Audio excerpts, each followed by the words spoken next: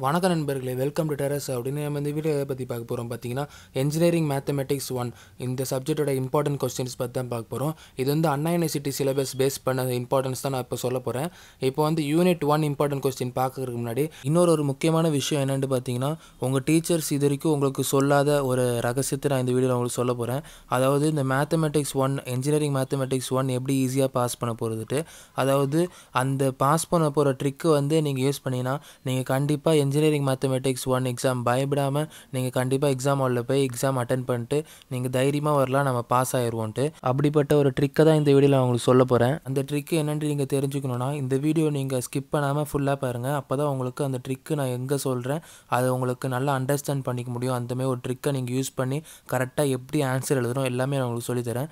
வாங்க வீடியோக்குள்ளே போகலாம் இப்போ வந்து யூனிட் ஒன் இம்பார்ட்டன்ட் கொஸ்டின் என்னலாம் அப்படி பார்ப்போம். யூனிட் ஒன்னை பொறுத்த வரைக்கும் find the domain and range and sketch the graph of the function f of x equal to root x plus 2 இந்தமாதிரி உங்களுக்கு ஒரு எக்ஸாம்பிள் கொஸ்டின் இந்தமாதிரி கொடுக்குறேன். இந்தமாதிரி கொஸ்டின் பேஸ் பண்ண அதாவது டொமைனும் உங்களுக்கு ரேஞ்ச் இந்த ரெண்டும் கண்டுபிடிக்கிற மாதிரி ஒரு கிராஃப் நீங்கள் வரைஞ்சி டொமைன் ரேஞ்ச் கண்டுபிடிக்கிற மாதிரி நீங்கள் அந்த மாதிரி பேஸ் பண்ண ப்ராப்ளம்ஸு நீங்கள் நல்லா ப்ராக்டிஸ் பண்ணிக்கோங்க. அதுக்கப்புறம் உங்களுக்கு வந்து எவால்வேட் லிமிட் வந்து ஹெச் ஜீரோட்டு கொடுத்துருக்காங்க. அதுக்கப்புறம் three plus h square minus nine divided by nine இப்போ இந்தமாதிரி உங்களுக்கு ப்ராப்ளம் எவால்வேட்டு சொல்லி இதை உங்களுக்கு சிம்பிளிஃபை பண்ணுற மாதிரி கூட நீங்கள் நிறைய ப்ராப்ளம் பார்த்து வச்சுக்கோங்க. இப்போ நான் இந்த யூனிட் ஒன்று ஃபுல்லாக இம்பார்ட்டன்ட் கொஸ்டின் சொல்லி முடித்தோடனே எது நீங்கள் நல்லா ஃபோக்கஸ் பண்ண உங்களுக்கு சொல்கிறேன் இப்போ அடுத்தது வந்து show that limit x square sine one by x equal to zero using sandwich theorem அதுக்கப்புறம் உங்களுக்கு அடுத்த சம் வந்து where the function f of x equal to log x plus tan inverse x divided by x square minus one is continuous இந்தமாதிரி உங்களுக்கு problem கேட்பாங்க. அதுக்கப்புறம் உங்களுக்கு find dy by dx if y equal to sine ப்ராக்கெட்டில் வந்து உங்களுக்கு cos tan X இந்தமாதிரி உங்களுக்கு சால்வ் பண்ணுற மாதிரியும் கேட்பாங்க. அதுக்கப்புறம் உங்களுக்கு find dy by dx if sine x plus y equal to y square cos x அதுக்கப்புறம் உங்களுக்கு find the absolute maximum and absolute minimum value of the function f of x equal to x cube minus three x square plus ஒன்று on one by two அதுக்கப்புறம் ஒரு range கொடுத்துட்றாங்க. அதுக்கப்புறம் உங்களுக்கு discuss the curve f of x equal to உங்களுக்கு ஒரு f of x ஒரு function அதுக்கப்புறம் with respect to the maximum and local minimum concavity and point of inflection இப்படிட்டு உங்களுக்கு கேட்குறாங்க இந்த மாதிரி ப்ராப்ளம்ஸ் இப்போ வந்து யூனிட் ஒன்னை பொறுத்த வரைக்கும் இந்த எட்டு ப்ராப்ளம் நான் உங்களுக்கு சொல்லியிருக்கேன். இந்த எட்டு ப்ராப்ளமில் நீங்கள் முக்கியமாக ஃபோக்கஸ் பண்ண வேண்டியது எது அப்படி பார்த்தீங்கன்னா இந்த எவால்வேட் அப்படி சொல்லி உங்களுக்கு இந்த மாதிரி சிம்பிளிஃபை பண்ணுற மாதிரி ஒரு அந்த ப்ராப்ளம்லாம் நீங்கள் நல்லா ஃபோக்கஸ் பண்ணணும். அதுக்கப்புறம் உங்களுக்கு இந்த டொமைன் ரேஞ்ச் கண்டுபிடிக்கிற மாதிரி அந்த ப்ராப்ளம் நீங்கள் நல்லா ஃபோக்கஸ் பண்ணணும். அதுக்கப்புறம் உங்களுக்கு வந்து இந்த ஒரு ஃபங்க்ஷன் கொடுத்துட்டு அதுக்கப்புறம் அது கண்டினியூஸாக அப்படின்ட்டு நீங்கள் அதை கேட்குற மாதிரி அந்தமாதிரி ப்ராப்ளமும் நீங்கள் நல்லா சால்வ் பண்ணி பார்த்துக்கணும். அதுக்கப்புறம் find f dy by dx அந்த அந்த ஈக்குவேஷனை வந்து நீங்கள் இன்டெகிரேட் பண்ணுறோம் அந்தமாரி உங்களுக்கு ப்ராப்ளம் கேட்டாலும் நீங்கள் வந்து அதையும் நீங்கள் சால்வ் பண்ணி தெரியணும். அதுக்கப்புறம் உங்களுக்கு வந்து absolute minimum and absolute maximum இந்தமாதிரி ப்ராப்ளமும் நீங்கள் நல்லா சால்வ் பண்ணி கற்றுக்கணும் அதாவது ஒரு ரேஞ்ச் கொடுத்துட்டு அந்த ரேஞ்சில் வந்து அப்சல்யூட் மினிமம் அப்சல்யூட் மேக்ஸிமம் அது கண்டுபிடிக்க சொல்லுவாங்க. அந்த மாதிரியும் நீங்கள் சால்வ் பண்ண தெரியணும். இந்த இதில் தான் உங்களுக்கு யூனிட் ஒன்னை பொறுத்த வரைக்கும் இம்பார்ட்டன்ட் நான் உங்களுக்கு சொல்கிறேன் இப்போ யூனிட் டூ இம்பார்ட்டன்ஸ் எதெல்லாம் அப்படி பார்த்தீங்கன்னா யூனிட் டூவை பொறுத்த வரைக்கும் உங்களுக்கு இம்பார்ட்டன்ஸ் கம்மி தான். அதாவது இஃப் டபிள்யூ ஈக்குவல் டு ஒரு ஃபங்க்ஷன் கொடுத்துட்றாங்க.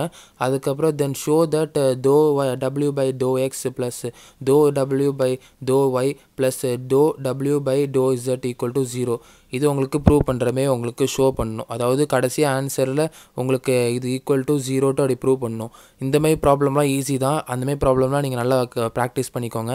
அதுக்கப்புறம் உங்களுக்கு திருப்பி ஜெட்டு ஒரு ஃபங்க்ஷன் கொடுத்துருவாங்க. அதுக்கப்புறம் எக்ஸுக்கு ஒரு ஒய்க்கு வேல்யூ கொடுத்துட்டு அதுக்கப்புறம் ப்ரூவ் பண்ண சொல்லுவாங்க. என்னென்னா உங்களுக்கு இந்த ஈக்குவேஷனும் உங்களுக்கு ப்ரூவ் பண்ண சொல்லுவாங்க. ஈக்குவல் டு திஸ் சார்ட் இதுவும் உங்களுக்கு ரொம்ப ஈஸி தான். அதாவது செகண்ட் யூனிட்டை பொறுத்த வரைக்கும் இந்த தோ கான்செப்ட் வச்சு வரும். அது எல்லாமே ஈஸியாக தான் இருக்கும். அதுக்கப்புறம் தேர்ட் செம் பார்த்தாலும் உங்களுக்கு அதேமாரி தான் இருக்கும். அதாவது if u equal to sine inverse ப்ராக்கெட்டில் x square plus y square divided by x plus y அப்படி சொல்லி உங்களுக்கு அந்தமாரி உங்களுக்கு ஒரு ஈக்குவேஷன் சால்வ் பண்ண சொல்லி ஈக்குவல் டு ப்ரூவ் பண்ணணும்.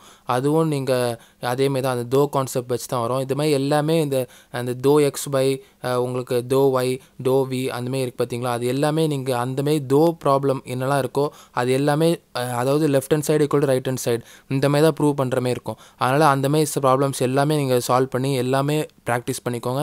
அதில் இருந்து கண்டிப்பாக ஒரு சம் வரும். நீங்கள் கண்டிப்பாக அதில் அட்டன் பண்ணிடலாம் செகண்ட் யூனிட்லேருந்து இந்தமாரி தான் உங்களுக்கு செகண்ட் யூனிட்டில் ஈஸியாக வரும். அதுக்கப்புறம் செகண்ட் யூனிட்டில் ரெண்டாவது ஆஃப் என்னென்ட்டு பார்த்தீங்கன்னா உங்களுக்கு வந்து ஜெக்கோபியன்ஸு அதுக்கப்புறம் டெய்லர் சீரிஸ் அதுக்கப்புறம் வால்யூம் பேஸ்டு ப்ராப்ளம்ஸு அதுக்கப்புறம் உங்களுக்கு வந்து எக்ஸாமின் ஃபங்க்ஷன்ட்டு கொடுத்து அதோட எக்ஸ்ட்ரீம் வேல்யூஸ் கண்டுபிடிக்க சொல்லுவாங்க. என்னை பொறுத்த வரைக்கும் கேட்டிங்கன்னா இந்த செகண்ட் பார்ட் தான் உங்களுக்கு படிக்க சொல்லுவேன் எதனால் அப்படி பார்த்தீங்கன்னா செகண்ட் பார்ட்டில் இந்த டெய்லர் சீரிஸ் அதுக்கப்புறம் இந்த வால்யூமு அதுக்கப்புறம் உங்களுக்கு எக்ஸ்ட்ரீம் வேல்யூஸ் அதுக்கப்புறம் இந்த ஜெக்கோபியன்ஸ் அது எல்லாமே ஈஸியாக இருக்கும். அதனால் இந்த செகண்ட் ஆஃப் தான் என்னை பொறுத்த வரைக்கும் படிக்க சொல்லுவேன். அப்படியே நீங்கள் செகண்ட் ஆஃபும் படிச்சுட்டு அந்த ஃபஸ்ட்டு மூணு சம் சொன்ன தெரியுமா? அந்த மாதிரி தோ பேஸ்டு ப்ராப்ளம்ஸும் நீங்கள் படித்தாலும் நீங்கள் வந்து கண்டிப்பாக உங்களுக்கு யூனிட் டூலேருந்து கண்டிப்பாக ஒரு கொஸ்டின் நீங்கள் ஈஸியாக அட்டன் பண்ண முடியும். அதுதான் நான் உங்களுக்கு சொல்லுவேன்.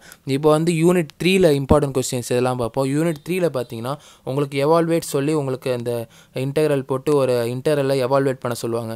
அதுக்கப்புறம் அந்தமாரி உங்களுக்கு எவால்வேட்டில் இந்த மூணு இதுவுமே உங்களுக்கு இம்பார்ட்டன்ட் இந்த மூணு சம்மே நீங்கள் நல்லா பார்த்துக்கோங்க. இதை தவிர நீங்கள் வேறு எக்ஸ்ட்ரா பார்த்தாலும் சரி தான் ஆனால் இந்த மூணையும் நீங்கள் கண்டிப்பாக பார்க்கணும்.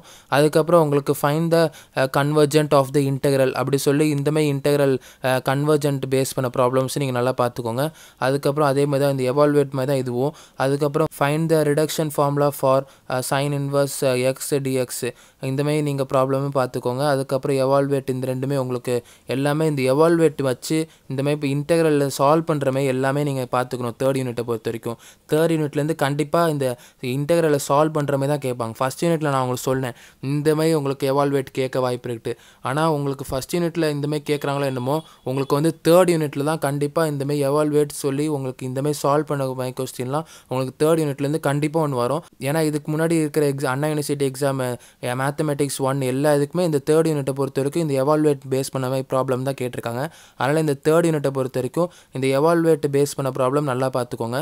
இப்போ வந்து அடுத்த யூனிட் ஃபோர்த் யூனிட்டில் என்னெல்லாம் இம்பார்ட்டன்ட் பார்ப்போம்? இப்போ யூனிட் ஃபோர் இம்பார்ட்டன்ட் கொஸ்டின்ஸ் என்னெல்லாம் அப்படி பார்த்தீங்கன்னா find area between the parabola அதுக்கப்புறம் அப்படி சொல்லிட்டு உங்களுக்கு ஒய் ஸ்கொயர் அதுக்கப்புறம் எக்ஸ் ஸ்கொயர் அப்படின்ட்டு உங்களுக்கு கொடுத்து அந்த ஏ ஏரியா ஆஃப் த பேராபோலா கண்டுபிடிக்க சொல்லுவாங்க. இந்த மாதிரி பேஸ் பண்ண ப்ராப்ளம்ஸ் நீங்கள் நல்லா பார்த்துக்கோங்க. அதுக்கப்புறம் find the area of the cardioid r equal to a ப்ராக்கெட்டில் ஒன் ப்ளஸ் காஸ் தீட்டா இது ரொம்ப ரொம்ப இம்பார்ட்டன்ட் இது இல்லாத கொஸ்டின் பேப்பரே இல்லை இந்த சம்மு ரொம்ப ரொம்ப இம்பார்ட்டன்ட் இந்த கார்டியாய்டு பேஸ் பண்ண ப்ராப்ளம்ஸ் இந்தமாதிரி வேறு ஏதாவது ப்ராப்ளம் இருந்தாலும் நீங்கள் ரெஃபர் uh, பண்ணுறது நல்லது. அதுக்கப்புறம் உங்களுக்கு வந்து change the order of integration and evaluate அப்படி சொல்லிட்டு உங்களுக்கு வந்து uh, ஒரு இன்டகிரேஷன் டபுள் இன்டகிரேஷன் கொடுத்து உங்களுக்கு ஒரு ஈக்குவேஷன் கொடுப்பாங்க. அதுக்கு நீங்கள் ஆர்டர் ஆஃப் இன்டகிரேஷனை சேஞ்ச் பண்ணி அதை எவால்வேட் பண்ணணும். இது வந்து யூனிட் ஃபோரோட டாபிக் நேமே உங்களுக்கு வந்து மல்டிபிள் இன்டெக்ரல் அதனால தான் உங்களுக்கு டபுள் இன்டெக்ரல்லாம் வருது. அதுக்கப்புறம் உங்களுக்கு அடுத்த கொஸ்டின் பார்த்தா உங்களுக்கு டிரான்ஸ்ஃபார்மேஷன் இன்ட்டு போலார் கோஆர்டினேட்ஸு இந்தமாரி உங்களுக்கு இந்த டாபிக் பேஸ் பண்ண ப்ராப்ளம்ஸை நீங்கள் நல்லா பார்த்துக்கோங்க. இந்த டாபிக் ரொம்ப important transformation into polar coordinates அதுக்கப்புறம் அடுத்த ப்ராப்ளம் பார்த்தீங்கன்னா உங்களுக்கு ஃபைண்ட் வால்யூம் அப்படின்ட்டு அந்த ஃப வால்யூம் கண்டுபிடிக்கிறது ரொம்ப இம்பார்ட்டன்ட் அதில் உங்களுக்கு எக்ஸாம்பிளுக்கு சொல்ல போனால் எலிப்ஸாய்டு அந்தமாரி உங்களுக்கு வால்யூம் கண்டுபிடிக்கிறது ரொம்ப இம்பார்ட்டன்ட் இந்த வால்யூம் கண்டுபிடிக்கிற பேஸ் பண்ண ப்ராப்ளம்ஸ் எல்லாமே நீங்கள் பார்த்து வச்சுக்கோங்க. அதுக்கப்புறம் எவால்வேட் அப்படி சொல்லி ட ட்ரிபிள் இன்டெக்ரல் கொடுத்து உங்களுக்கு ஒரு ஈக்குவேஷன் கொடுத்து ரீஜன்னு உங்களுக்கு கொடுத்துருவாங்க. இதை நீங்கள் வந்து ஜஸ்ட்டு ட்ரிபிள் இன்டெகிரேஷன் தெரிஞ்சாலே போதும். நீங்கள் இந்த ஆர்டர் கரெக்டாக போடணும். இப்போ இதில் டிஇசட் டிஒய் டிஎக்ஸ் இருக்குல்ல இதை நீங்கள் ரிவர்ஸில் திருப்பி எழுதணும். டிஎக்ஸ் டிஒய் டிஇசட் கரெக்டாக ஆர்டர் கரெக்டாக மாற்றி உங்களுக்கு எவால்வேட் பண்ணணும். இந்தமாரி உங்களுக்கு ஃபோர்த் யூனிட்லேயும் நீங்கள் கண்டிப்பாக ஒரு கொஸ்டின் ஈஸியாக அட்டன் பண்ணிடலாம். அதுக்கப்புறம் உங்களுக்கு இப்போ ஃபிஃப்த் யூனிட் இம்பார்ட்டன்ட் கொஸ்டின்ஸ் என்னெல்லாம் அப்படி பார்த்தீங்கன்னா உங்களுக்கு இந்த solve D cube plus two D square plus D equal to y இது ரொம்ப ஈஸியாக தான் இருக்கும். நீங்கள் உங்களுக்கு இது ஒரு ப்ராப்ளம் நீங்கள் ப்ராக்டிஸ் பண்ணாலே நீங்கள் எந்தமாதிரி ப்ராப்ளம் கொடுத்தாலும் எழுதுறமே நீங்கள் ஆயிடுவீங்க அவ்வளோ ஈஸியான ப்ராப்ளம் இது. அதுக்கப்புறம் உங்களுக்கு சால்வ் அப்படி சொல்லிட்டு உங்களுக்கு ஒரு ஈக்குவேஷன் மாதிரி கொடுத்து அதை ப்ரூவ் பண்ண சொல்லுவாங்க. அதுக்கப்புறம் உங்களுக்கு வேரியேஷன் ஆஃப் பேராமீட்டர் அந்த ப்ராப்ளம் எப்படி இருக்கும்னா உங்களுக்கு இந்தமாதிரி இருக்கும். D square plus a square into y equal to tan ax இந்த பேஸ் பண்ண ப்ராப்ளம்ஸும் நல்லா பார்த்துக்கோங்க. இப்போ இந்த செகண்ட் ப்ராப்ளம் இருக்குல்ல சால்வ் அப்படின்னு சொல்லி ஒரு ஈக்குவேஷன் கொடுத்துருக்காங்களே இந்த ப்ராப்ளம் ரொம்ப ரொம்ப இம்பார்ட்டன்ட் இந்த ப்ராப்ளம் நீங்கள் கண்டிப்பாக பார்த்துட்டு போகணும். அதுக்கப்புறம் இப்போ ஃபோர்த் ப்ராப்ளம் பார்த்தீங்கன்னா சால்வ்டு சொல்லி ரெண்டு ஈக்குவேஷன் கொடுத்துருவாங்க. இதை நீங்கள் வந்து ஜஸ்ட்டு சிம்பிளிஃபை பண்ணணும். அது சால்வ் பண்ணி நீங்கள் காட்டணும். இது ஃபிஃப்த் யூனிட்டு ரொம்ப ஈஸி தான். ஃபிஃப்த் யூனிட்டில் ரொம்ப இம்பார்ட்டன்ட் எது பார்த்தீங்கன்னா உங்களுக்கு இந்த மாதிரி ப்ராப்ளம்ஸ் தான் இம்பார்ட்டன்ட் இதுவும் அதுக்கப்புறம் இந்த வேரியேஷன் ஆஃப் பேராமீட்டர் இது. அதுக்கப்புறம் உங்களுக்கு இருக்கும் இந்த சால்வெட்டு இந்த மூணு தான் உங்களுக்கு ரிப்பீட்டடாக வரும். இந்த மூணு நல்லா பார்த்து வச்சுக்கோங்க.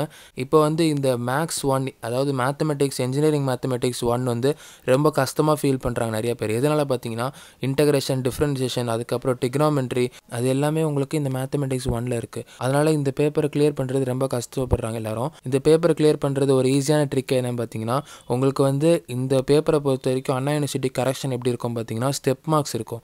அதை தவிர நீங்கள் ஸ்டெப் மார்க்ஸும் உங்களுக்கு கிடைக்கல. அதாவது இந்த ஸ்டெப்ஸு ப்ராப்ளம் எப்படி ப்ரொசீட் பண்ணுறதுன்னு தெரியல. அப்படி இப்படின்னு நினச்சிங்கன்னா நீங்கள் வந்து இப்போ நான் இம்பார்ட்டன்ட் டாபிக்ஸ்லாம் சொன்னேன் தெரியுமா? இந்த இம்பார்ட்டன்ட் டாபிக்ஸில் இருக்கிற எல்லா ப்ராப்ளம் ஆன்சரும் நீங்கள் மக்கப் பண்ணிட்டு போயிருங்க.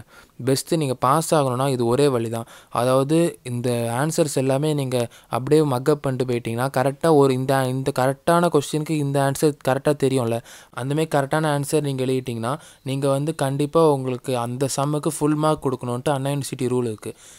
இப்போ வந்து இந்த சம்மை பார்த்தீங்கன்னா இந்த சம்முக்கு ஆன்சர் மட்டும்தான் ஒரு பையன் எழுதியிருந்தான். ஆனால் எங்களுக்கு வந்து ரூல் படி ஃபுல் மார்க் கொடுக்கணுன்ட்டு இருக்குது இப்போ உங்களுக்கு பல பேருக்கு தெரியாது. இந்தமாரி உங்களுக்கு ஒரு அண்ணா யூனிவர்சிட்டி ரூல் இருக்குது ஆனால் இந்த மேக்ஸ் ஒன்னுக்கு மட்டும் உங்களுக்கு இந்த ஆன்சர் கரெக்டாக எழுதினாலும் அதுக்கப்புறம் இந்த ஸ்டெப்ஸில் சில இந்தமாதிரி ப்ராப்ளம்ஸ்லாம் சில ஸ்டெப்ஸில் உங்களுக்கு இம்பார்ட்டன்ட் ஆன்சர்ஸ் இருக்கும். அந்த ஆன்சர்ஸ் அதுக்கப்புறம் உங்களுக்கு கிராஃப் வரைஞ்சி அதை ரீஜன்ஸு ப்ளாட் பண்ணுறது இருக்குல்ல அந்தமாரி அந்த கிராஃப்லாம் கரெக்டாக ரீஜன்ஸ் ப்ளாட் பண்ணியிருந்தால் ஒரு மார்க்கு அதுக்கப்புறம் ஆன்சர் கரெக்டாக எழுதினாலே உங்களுக்கு பாதி மார்க் கொடுத்துருவாங்க சில ப்ராப்ளம்க்கு சில ப்ராப்ளம்க்கு ஆன்சர் மட்டும் தான் ஃபுல் கீவேர்டாகவே இருக்கும். அதனால் இப்போ ஆன்சர் மட்டும் எழுதினீங்கன்னா உங்களுக்கு அந்த ப்ராப்ளம்க்கு உண்டான ஃபுல் மார்க் போடுறதுக்கு வாய்ப்பு இருக்குது அந்தமாரி உங்களுக்கு இந்த மேத்தமெட்டிக்ஸ் ஒனில் பாஸ் ஆகுறது ரொம்ப ஈஸி தான். அதனால் இந்த சப்ஜெக்டை நினச்சி நீங்கள் பயந்துட்டு இருக்க வேண்டாம்.